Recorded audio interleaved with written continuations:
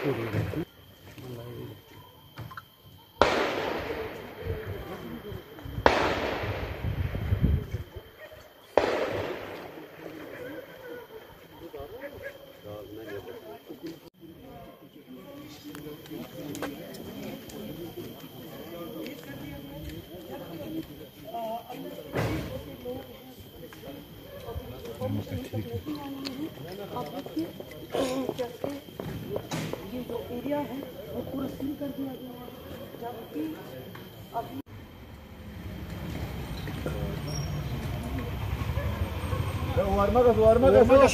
वार्मा